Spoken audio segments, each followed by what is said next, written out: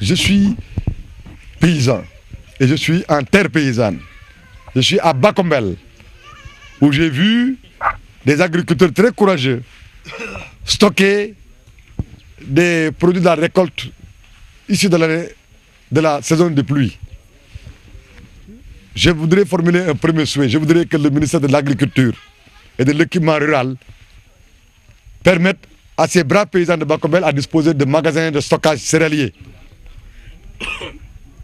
Les sacs, les magasins traditionnels qu'on avait, les greniers, ne sont plus adaptés aux exigences d'une bonne conservation dans un contexte où on veut l'autosuffisance céréalière.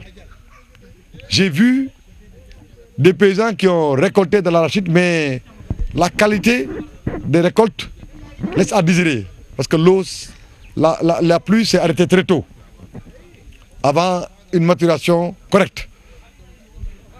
J'ai aussi entendu le gouvernement fixer un prix aux producteurs amélioré, bien meilleur que ce qu'on avait pratiqué l'année dernière.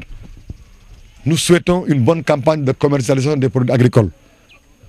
Mais ce que j'ai vu à Bacombel, c'est que il est possible ici de travailler en menant des activités agricoles en saison hivernale, comme il est possible d'en faire en saison sèche.